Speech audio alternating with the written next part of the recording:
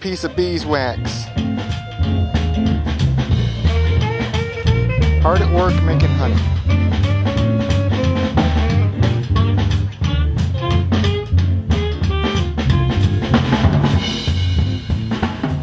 The bees are made up of three sections of the hive. The deep, the well, these two are deep right here in the front, and then the super. The super is where the bees make their honey and where they feed. They will bring down the honey and feed the the baby bees. And what we have right here is beeswax. The bees make this and have hexagon shapes inside the beehive. That's where they store honey and make the larvae grow from the queen bee. The queen bee is the like the mother of all the bees in the hive. She lays and she lays close to 2,000 eggs a day.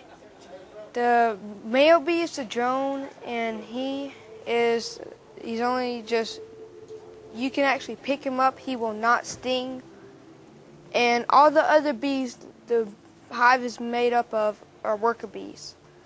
And most of all these little bees crawling around here working pretty fast trying to either make honey, um, make wax, or take care of the larvae.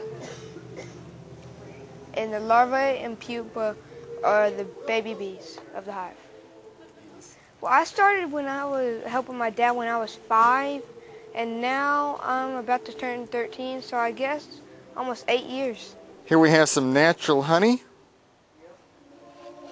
Pure wildflower honey.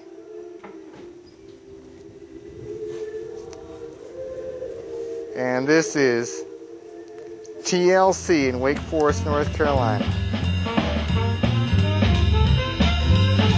Here's the beekeeper's jacket.